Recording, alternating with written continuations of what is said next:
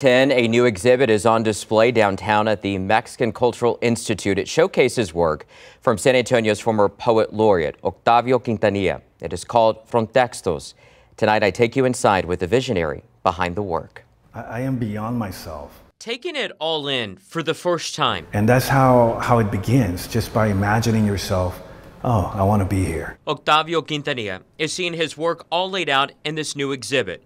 Right up front, his name big and bold. One day I, I want to I wanna be here, and the day came. But it's, it's part of the dreaming, it's part of, uh, of manifesting, you know, and then doing it, doing the work to get here. An exhibit full of his work inside the Mexican Cultural Institute's Diego Rivera Gallery. It is part of Quintanilla's work he calls Frontextos. And it's a word that I think describes where I come from, which is the borderlands of Texas. Texto is just what my work is made of. It's made of text, it's made of words, whether it's on canvas, whether it's on paper. As the exhibition curator put it, his work Frontextos fuses poetry and painting to break free from the usual rules of art and storytelling. This project has been a part of Quintanilla's life since 2018. The text on the canvas. He pointed out this one specific piece, one of his favorites.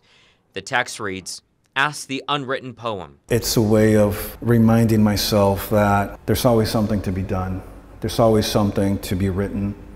There's always a story to tell. As for those who come and see his work, he wants you to look at his creations and connect. Literally, you're not going to see your reflection, but I think metaphorically, you might be able to.